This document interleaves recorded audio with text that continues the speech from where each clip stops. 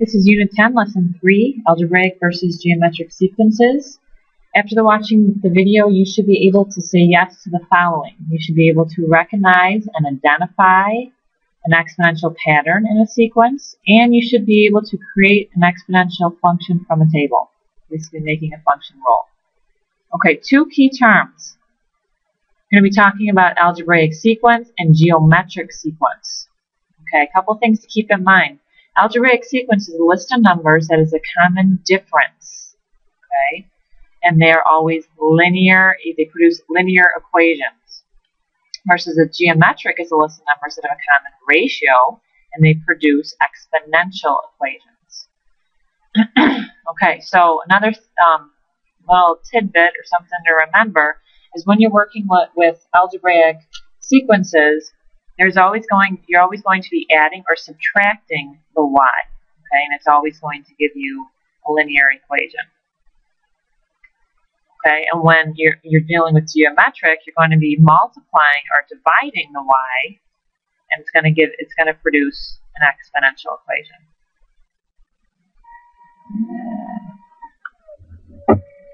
All right, so going back down to um, example one. Okay, here we're just going to have you kind of look at what's going on and prepare you for writing a function rule. So using the table, we want you to determine if the data represent an algebraic or geometric sequence. Okay, so what they're asking you to do first here is asking what is the change in x. So if we're looking just at the top, 2, negative 1, 0, 1, 2, what is happening to the x's sequentially? Well, if we add 1 to 0, it gets you 1. If we add 1 to 1, it gets you 2 we add 1 to negative 1, it gets you 1. So when we add 1 to our x and keep adding 1, that's the sequence it's producing. Now take a look at the y. What's going on in all the y's? Well, if let's start with positives first, it's a little easier to see. If we add 3, we get 5. See if we add 3 here. Oh, we get 8. What if we add 3 to the negative 1? Yes, we get negative 2. So the change in y is adding 3. So when we are, going back to that top, adding or subtracting y, we're going to produce a linear equation which is algebraic. So the data is algebraic sequence. Okay, now B. If we look at B, first going to look at the change in um, change in x. Okay, if we add 1, we get 1. Add, add 1 here, we get 2. So it looks like we're going to be adding 1 again. Okay, now let's look at the below, the y's. What are we doing to the y's? Looking at the, the positive number, the whole numbers first might be easier. Well, see, I'm not going to be adding, because if I add 4 here, that doesn't make sense. But if I, if I multiply by 3, I get 6, and multiply by 3 here, I get 18. Well, how about if I multiply here by 3? Those cancel out. Oh yeah, I do get 2. Double check here. This becomes 3, 2 thirds. Yep, okay, so I am multiplying by, oops, not 2. I am multiplying my y by 3. Okay, so again, geometric sequence, you kind of creep up here and look. When you're multiplying, dividing your y, it's exponential. Exponential is geometric sequence. Okay? Next thing, example two, writing a function rule to predict um, future results. Okay, so same thing we're asking you to do here. Asking what's the change in x. So we add 1, add 1. So it looks like we're going to be adding 1. Don't really refer to this yet because this is jumping. But if we add 1 to our x's, oops, what am I doing? Adding 1. Okay, now let's look at our bottom. What's going on in our bottom?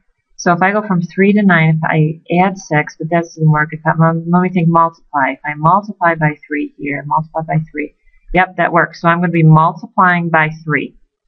So remember, um, an exponential function is y equals ab to the x power. So that's what I need. And just as another quick reminder, um, a is your y-intercept.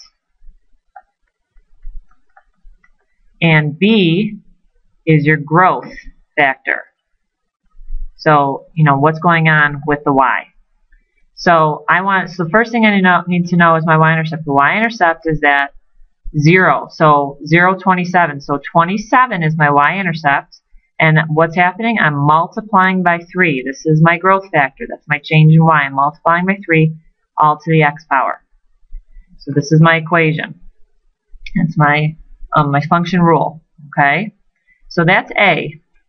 So it asks you to add, um, function rule and then use it to predict the results. Well, here's the result I have to predict. So for B, I'm going to go oops, y equals 27 times 3 to the 12th power. I'm going to take that 12, that x, and put it where my x goes. So if you plug that into your calculator, you get 14,348,907 as your answer. All right, looking over to the next example. What is the change in x? We're going to be adding 1 each time. What's the change in y? Well, let's see here. If I, like maybe multiplying by 2. Yep. Multiply by 2 here. Do I get 1? Yes. I'm going to be multiplying by 2. So to write my function rule, my a is my y-intercept, so 1 times my growth factor, I multiplied by 2 to the x power. So what happens when, how do I find this part, 15? So I have 1 times 2 to the 15th. If I plug that in my calculator, I get 32,768. All right, you tries you are going to do in class tomorrow. We're going to skip over those and go to the last example, putting it all together. Okay, so let's go piece by piece. So they're asking for A, what we just did, change in X and change in Y. So let's see, oh, I'm adding 1 again, yes, adding 1 here. So I'm going to be adding 1, that's my change in X. Now my change in Y, oh, I'm going down. So it looks like, I don't know if I'm growing exponentially, we're going down. So what happens? So if I can't, not multiplying, I'm cutting it in half. So if I divide by 2, I get 2 here. If I divide this by 2, I get 1. If I divide 1 by 2, I do get a half. So I'm going to be dividing by 2. Now the tricky thing with, um, you have to remember is exponential function is a times b to the x power. So how do I get this to be multiplication? Well, because I don't want y equals 1 divided by 2 to the x power. I want it to be multiplied. So I have to change it. So if I have 2 over 1, what is the reciprocal of 2 over 1? Well, it's 1 half. So I'm going to be multiplying by a half. Okay, so B, it says, is it linear or exponential? It is exponential, and I, I, whoops, it's exponential, and I know that because I'm either multiplying or dividing, but then they're asking you is it growth or decay? Well, I'm going down. My y is going down, so I know it's decay. How do I know? y is decreasing exponentially. Okay, and C, I want to graph the points.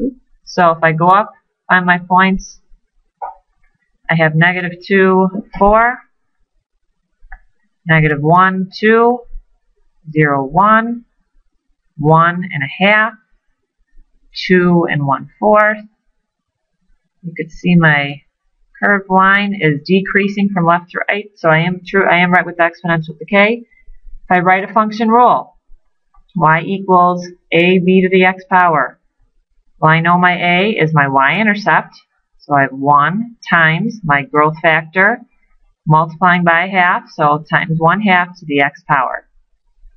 And then the last one, they want you to predict the last column. So if I put 50 in for my x, y equals 1 times 1 half to the 50th power.